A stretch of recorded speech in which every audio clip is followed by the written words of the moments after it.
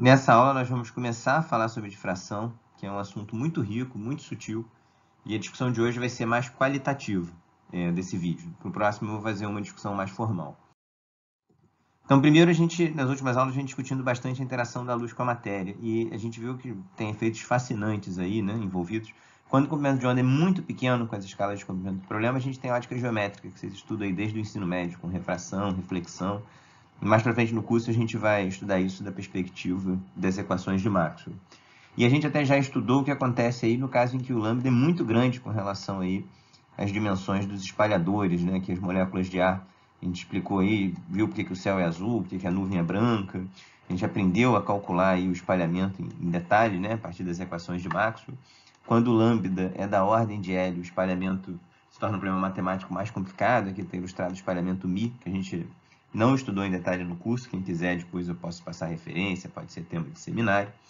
Mas, então, aqui são dois regimes bem opostos, ou seja, comprimento de onda é muito, é muito, muito, muito pequeno, de modo que valem leis essencialmente geométricas, e aqui um, um, um reino né, de fenômenos ondulatórios. E aí, o, as primeiras correções da ética geométrica são o que a gente conhece com o nome de efeitos de difração. Então, aqui, por exemplo, você ilumina é, uma gilete, que a luz está por trás aqui, né, está para dentro da tela de vocês, e é, você também tem aqui a situação que o lambda da luz é muito pequeno aí, comparado com o tamanho aqui da, da abertura, né, dessa, dessa fenda aqui da gilete, mas se você olhar bem perto ali das bordas, você vê um comportamento que não é descrito pela ótica geométrica. Aqui, o experimento que teve uma é, importância histórica muito grande no desenvolvimento da difração, que é você ter aqui um objeto opaco, tipo um semiplano, né? Então, aqui embaixo, em branco, é um buraco, e aqui é um, um anteparo. Então, se você olhar aqui na intensidade, quer dizer, é, aqui nessa região que tem anteparo, não passa luz praticamente, né? E aqui longe você vai ter uma. passa bastante luz. Mas a, inter, é, a troca, a transição entre elas, é bem perto aqui da, da fenda, você vê uma, umas oscilações de, de intensidade, que são os efeitos de difração. Depois a gente vai voltar nesse problema um pouquinho. Então a palavra-chave para a gente aqui vai ser essa. Difração são as primeiras correções de ótica geométrica. A gente vai supor que o lambda é muito menor do que L, mas a gente já, vai querer ver aí correções ondulatórias. Então vou fazer alguns comentários bem esquemáticos, históricos. Na verdade, essa parte histórica poderia ocupar, enfim, uma discussão extremamente extensa, quem quiser depois eu passo referência, mas só fazer alguns comentários. Então, primeiro, essa, todo esse estudo de difração veio aí a rebote bastante da discussão também de qual é a natureza da luz. Então, observações cotidianas, a luz parece propagar em linha reta, né? E também quando você olha aqui a reflexão, você pode pensar na luz como se fossem corpúsculos. Foi uma visão aí muito defendida séculos atrás, e aí a, a, a reflexão, a, o fato de você ter um ângulo de incidência igual ao de reflexão, você explica basicamente dizendo que tudo que a superfície faz é aplicar uma força normal aqui, de modo que não tem força tangencial, não tem atrito, então a componente paralela da velocidade fica constante. E aí, modelando aqui com uma colisão elástica, né, o módulo da velocidade é igual, então, é, se a componente paralela é constante, o módulo da velocidade é igual, o ângulo de reflexão tem que ser igual ao de incidência. Então, é, todos esses fenômenos da ótica geométrica que a gente está acostumado podem ser explicados aí pela visão corpuscular da luz, né? E, e, esse debate com a natureza da luz ocupou aí as mentes de, dos grandes cientistas aí em séculos 17, 18 e até o 19, tema, e até, bom, é até mesmo atual, né? Com a letra quântica tem vários outros debates aí, mas é, com, enfim, é, e a ótica geométrica tem aí os desenvolvimentos iniciais ainda na Grécia Antiga e tal, ela tem um sucesso estrondoso, ela explica diversos fenômenos, você entende bem aí os eclipses. A ótica geométrica ela prevê regiões de sombras bem definidas, né? Então, é, como a luz propaga em linha reta para a ótica geométrica, né? Quando tem um obstáculo, você deixa uma região de sombra. Se o corpo que estiver aqui emitindo luz for um corpo extenso, vai ter uma região aqui de sombra parcial, que parte da luz chega, parte é bloqueada, mas é tudo bem geométrico, tudo bem bordas bem definidas, sombras bem definidas. E a ótica geométrica é uma teoria é, fantástica, né? Enfim, quer dizer, você pode usar ela e deve usar em zilhões de, de situações cotidianas. Mas ela tem os seus limites. Então, é, e aqui voltando essa figura que é, isso aqui, ou seja, você tem aí uma foto de mais longe, né? Você tem aqui uma gilete, você está iluminando com laser aqui. E se você olha por trás da gilete, é a imagem que a gente tinha mostrado antes. Você vê que tem uma região aqui que não é a sombra bem definida. E a ótica geométrica foi incapaz de, de explicar isso, tá? E, na verdade, qualquer descrição corpuscular foi tentado de muitas formas, foi incapaz de dar uma é, explicação quantitativa precisa do que está acontecendo é, nessa figura. Então, é, e aí o, o Grimaldi, né, é, foi um dos primeiros aí a estudar sistematicamente aí esse tipo de fenômeno. Ele então diz que a luz ela se propaga é, não apenas de forma direta, né, é, como também por refração e reflexão, mas também por um quarto modo, que é o que ele chamou de difração. Então ele percebe que o que está descrito aqui na figura é fundamentalmente distinto, é um fenômeno à parte do que era conhecido até então, e essa palavra que ele usa é uma palavra muito feliz em latim, é a ideia de Diffractionem significa estilhaçamento. Então, é bem a ideia que o feixe de luz ele estilhaça quando entra aqui, você fica com um padrão é, oscilatório muito rápido aí, de claro escuro. Tá? Então, isso é importante, que às vezes a gente pensa em difração como é, o raio de luz é, não se propagando em linha reta, como uma curva do raio de luz. Isso é bem preciso. A refração, ela dá conta também de raio de luz fazendo curva, né? Quer dizer, quando você vê ali o fenômeno da miragem, por exemplo, basta de refração variante, é, dependente da posição, né, que você tem curva. Então, curva não, não, tem nada a ver com fuga da ótica geométrica. Né? O que a ótica geométrica não consegue é, descrever é esse estilhaçamento. Essa alternância rápida de claro e escuro é a marca registrada de um fenômeno ondulatório. Então, difração é justamente esse estilhaçamento que a gente vai tentar capturar e que qualquer teoria geométrica ou corpuscular foi incapaz é, de descrever. E aí, então, agora vamos para a visão ondulatória. No mesmo momento que tinha ali é, toda uma descrição explicando fenômenos da ótica geométrica por teoria corpuscular, é, Huygens, entre outros, defendiam uma visão ondulatória. E eles mostraram que essa visão ondulatória era capaz de explicar a reflexão. Lá em curso de física básica você demonstra a reflexão através de princípio de Huygens. Eu não vou explicar isso daqui, está lá no... Enfim, quem quiser revelar o Moisés 4 e tal. Mas o fato é que a ótica ondulatória ela consegue explicar os mesmos fenômenos da ótica geométrica. E, e aí aqui é o ponto fundamental, ela consegue explicar fenômenos adicionais também, fenômenos fora da ótica geométrica, como é o caso da difração, que a visão corpuscular não consegue. Então a visão corpuscular até consegue descrever bem tudo que está dentro da ótica geométrica, mas a visão ondulatória ela vai além. Então isso aqui já é bem após aí o trabalho do Huygens. Huygens, até onde se sabe, não, era, não conhecia esses fenômenos de difração, senão provavelmente ele teria usado eles como argumento em defesa da visão ondulatória dele. É, então, quer dizer, a, a, ideia justamente é que é, os efeitos de difração, eles são primeiras correções da ótica geométrica, mas como a luz visível ela tem um comprimento de onda muito pequeno, em geral você está numa região que é tão menor que você não consegue observar, né? E, de fato, você precisa estar bem perto aqui da fenda, você precisa de é, uma, uma luz coerente, tem várias dificuldades aí para você conseguir observar é, é, esse estilhaçamento de luz, essa alternância rápida aí entre claros e escuros. E aí o Fresnel, a partir de uma visão ondulatória, ali é, no início do século XIX, né, ele conseguiu, então, uma formulação matemática a partir da visão ondulatória. Então, a gente vai demonstrar essa fórmula na, na próxima aula, mas aqui é bem a ideia de que tá, você está superpondo ondas esféricas, né? É, integradas aqui ao longo da abertura. Depois a gente vai definir isso tudo melhor na próxima aula. Mas ele conseguiu uma é, teoria experimento da ordem de 1,5%. Jamais qualquer teoria corpuscular conseguiu uma precisão tão grande e a teoria da difração formulada aí precisamente através dos conceitos de física ondulatória foram, é, deram resultados extremamente precisos e é uma teoria que a gente usa, não exatamente como estava lá no Fresnel, depois teve contribuições do Kirchhoff, do Rayleigh, do Sommerfeld, muita gente, como eu disse, é muito rico o aspecto histórico. Eu não vou entrar aqui, o objetivo não é a gente fazer um detalhamento histórico. Só alguns comentários. Primeiro que é, esse trabalho que o Fresnel fez foi um tratado que ele apresentou para ganhar um prêmio que a Academia Francesa tinha aberto aí nessa época, justamente para entender a difração. E, então, esse prêmio tem uma história extremamente rica. Depois eu posso passar a referência para quem quiser. Mas mesmo com esse acordo imenso, ele ganhou então o prêmio. Foi um trabalho lindo, sensacional. Mas ainda não foi suficiente para convencer a todos ali de que a luz deveria ser tratada como onda. É, é sempre muito sutil essa descrição da natureza do, do, do, da, do fenômeno físico e tal. E acreditava-se que a teoria corpuscular talvez pudesse dar mais trabalho e tal, mas em algum momento o pessoal ia conseguir uma descrição matemática que fosse também capaz de descrever bem a difração. E foi só com o experimento sobre a velocidade da luz em meio, né, na, por volta de 1850, que o pessoal meio que realmente ficou convencido aí que a luz deveria é, ser tratada como uma onda, né, que seria o que descreveria mais corretamente aí os fenômenos luminosos. Então, quem tiver curiosidade depois nessa parte histórica, eu posso entrar é, melhor, mas aqui é já para chamar a atenção que vai ser importante para o nosso curso isso, quer dizer, que, enfim, você realmente, para descrever esses fenômenos de difração de uma maneira quantitativa, de uma maneira precisa, é necessário aí uma visão ondulatória.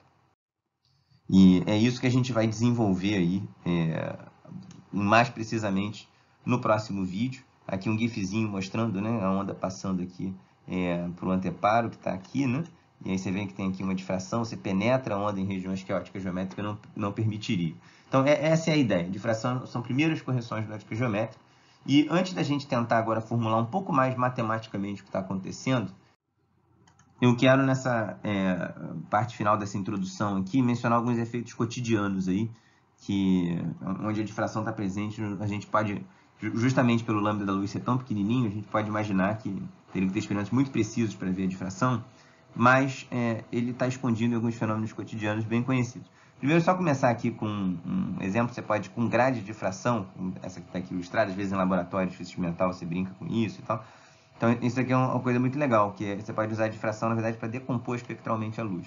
Então, é, você joga aqui, por exemplo, um, uma luz roxa incidente, e aí o ponto é que, é, por fenômeno de difração, você vai ter uma alternância entre claros e escuros, só que a posição dos claros e escuros depende da cor, exceto pelo máximo central aqui, que vai ser o mesmo para o azul e para o vermelho. Então, estou imaginando que esse feixe incidente é, é, azul e vermelho só aqui, nessa descrição. Né? O que vai acontecer é que, tirando o máximo central, as posições do, do azul e do vermelho são diferentes. Então, você pode usar aí grade de difração para decompor espectralmente a luz. Uma primeira informação aí bem importante, que vai aparecer bastante para a gente, é que os comprimentos de onda maiores, eles são difratados por ângulos maiores, tá? Então, que é, enfim, você pode pensar como um pouco intuitivo, quer dizer, a ideia é que a gente está pegando primeira correção devido ao fato de você ter um fenômeno ondulatório. Comprimentos de onda maior são mais afetados, a gente vai ver porque isso acontece por vários ângulos aí mais para frente. E essas grades de difração, dependendo de como você distribui ali as fendas, a geometria das fendas, você obtém figuras bem bonitas aí. Tem alguns lasers que dá para brincar com isso, você bota máscaras com aberturas diferentes e aí os pontos que você produz na parede. Tem uma geometria bem bonita, então é, Inclusive, aqui um exemplo da matéria condensada, né? A própria matéria, o próprio cristal, ele pode ser pensado como uma grade de difração. Mas como essa separação aqui dos átomos é da ordem de Angstrom, com luz visível, você não vê os padrões de difração, porque aí o lambda realmente ele é muito maior né, do que o espaçamento, o lambda visível. Né? Agora, se você usar raio-x, aí você consegue ver meio que, olha a semelhança aqui dos dois, né? Tem uma, aqui uma física bem rica de uma simetria de escala, né? Se você reescalar o tamanho das fendas e, e, na mesma proporção, o mesmo lambda, você tem aí fenômenos bem semelhantes. Isso pode ser tornado bem preciso aí, usando ferramentas matemáticas de similaridade. A difração ela tem essa simetria por escala bem rica. Então, você vai ver aqui, é, ao difratar raio-x por um cristal, você pode brincar difratando luz visível por algo que tem a mesma geometria, reescalando ali os espaços. Quem quiser depois eu posso passar referências que matematizam essa semelhança é, melhor, mas é, então, a cristalografia de raio-x ela revolucionou a ciência do século XX, né, sem exagero. Tem quantidade de aplicação em biologia, química, medicina, enfim. É, realmente, é, é, aí o fenômeno a difração aparece está bem, bem presente aí em várias aplicações. E está escondido em vários fenômenos cotidianos. O CD mesmo, quando você vê essa, essa pluralidade de cores aqui, né, está acontecendo é bem o que a gente mostrou antes naquela fotinho com duas cores só.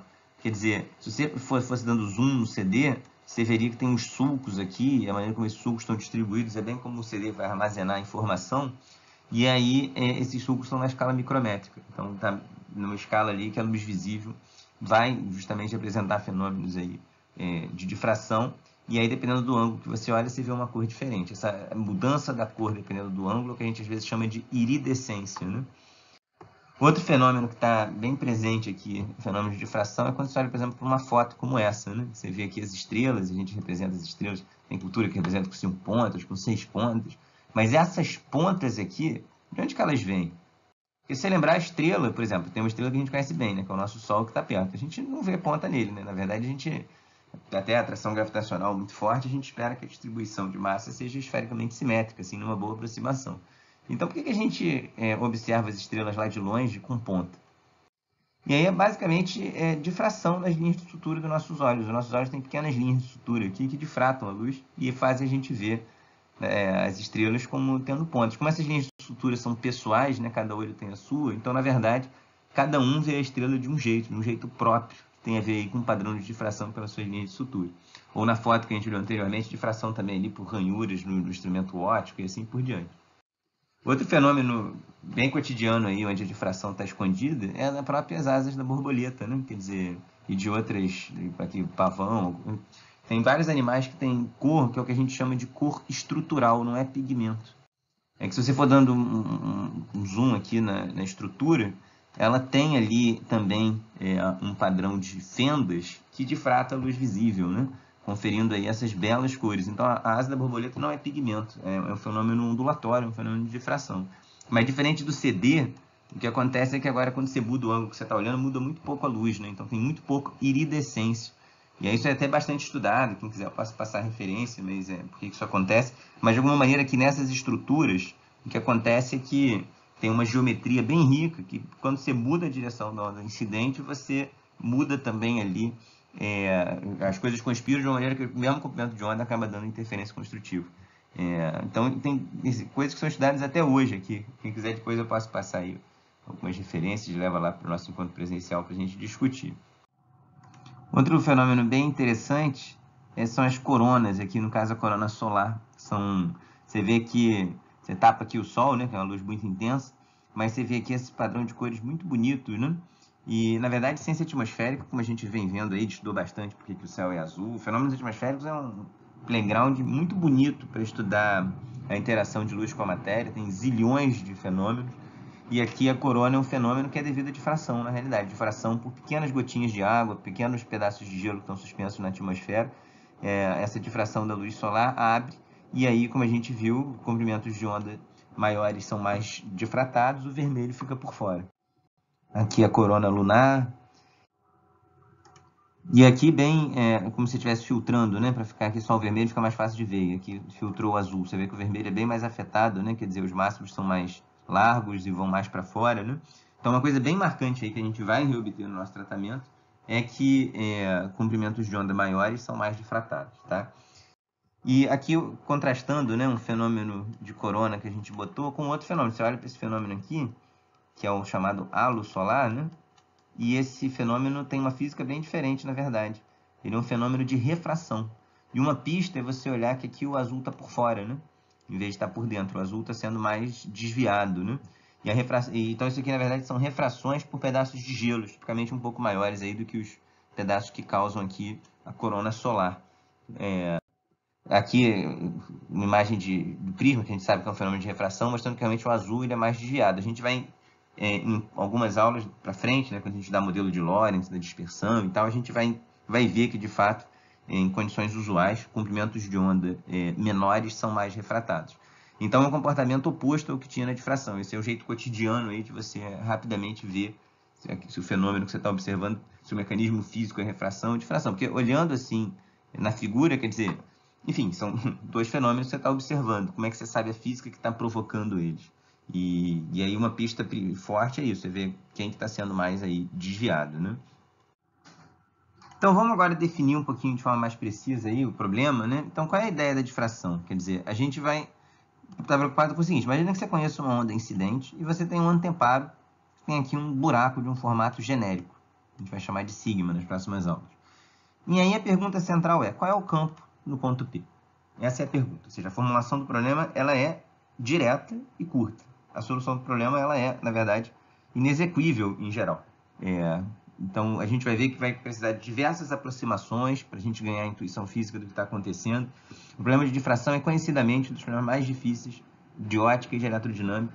É, e a gente vai ver por quê, mas a gente vai ver em compensação que tem como você obter é, previsões quantitativas muito boas é, dentro de algumas aproximações que são de bastante interesse cotidiano e prático.